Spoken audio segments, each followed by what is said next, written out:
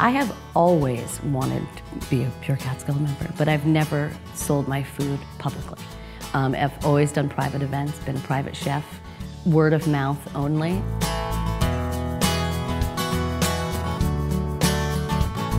When I came to the Hamden Inn, I was very excited, and the first thing that I did was immediately run to Pure Catskills.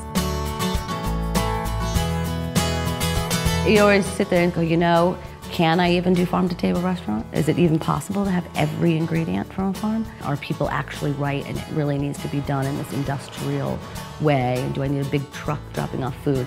And then you open Pure Catskills and you just have to flip through five pages to realize you absolutely can do it farm to table.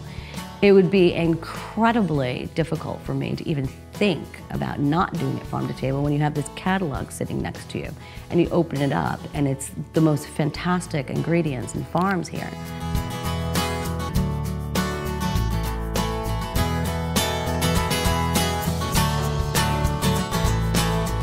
Everything's always changing. So if there's no tomatoes in season, you're not serving tomato basil mozzarella.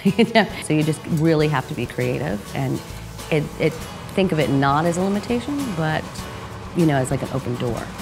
So it's going to change, just like the weather changes and like the farms change and the products on the farm change constantly. The menu will change.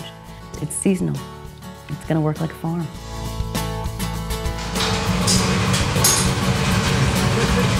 Dreams! Thank you! No problem. Sorry about that.